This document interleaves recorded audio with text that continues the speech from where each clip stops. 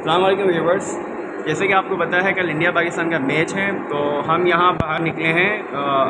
कुछ लोगों से बात करते हैं मैच के बारे में, कि उनकी क्या क्या तैयारी है कल के बारे में। हमें इरफान भाई मिले हैं। इनसे हम बात करते हैं कि कल के बारे में मैच के बारे में कि क्या उनकी इमोशन देखा।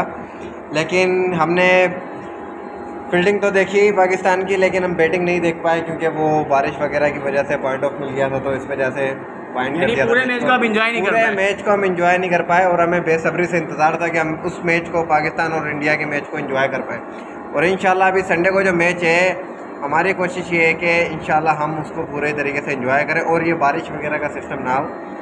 तो आपने कल के मैच के बारे में क्या तैयारी की अपनी? कल के मैच के बारे में हमने तैयारी ये की हुई है हमने फ्लोर पे एसिडी वगैरह लगाई हुई है काफ़ी दोस्त वगैरह कज़न वगैरह सब हैं इंजॉय करते हैं साथ देख के अच्छा। साथ बैठ कर तो काफ़ी मज़ा आएगा इन लेकिन अगर ये बारिश वगैरह ना हो फिर से इंशाल्लाह। हाँ, यानी आपका गेट टुगेदर और ऑडियंस बिल्कुल बिल्कुल बिल्कुल हमारी फैमिली वगैरह भी होती है हर चीज़ होती है इंजॉय करते हैं बिल्कुल वी तरीके से। तो काफ़ी मज़ा आता है इंटरटेनमेंट होता है ये वो आपस में ही काफ़ी मज़ा आता है इन्जॉय होता है।